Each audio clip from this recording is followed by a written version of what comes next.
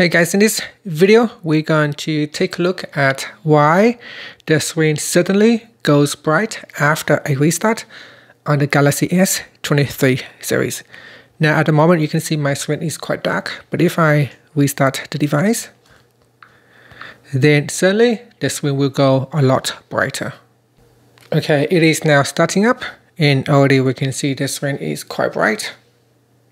Okay, and it is now starting up and you can see compared to before the restart, it is now brighter. The reason being is because of the extra dim feature. So if we pull down the quick settings panel and tap on the settings icon, now I go down and tap on accessibility,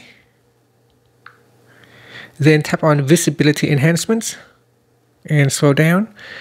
And if I tap on the left hand side panel of the extra dim, in here, there is a feature called turn off after restart. For extra dim, you can see when extra dim is switched on, the screen is dark. But if I restart the phone, then it will automatically switch off extra dim. And that is one of the reasons why your screen may seem to go brighter after a restart. Another thing is the adaptive um, brightness.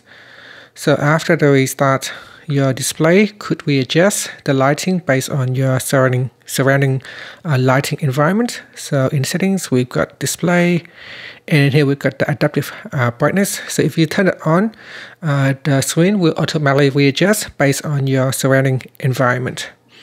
And that's it. Thank you for watching this video. Please subscribe to my channel for more videos.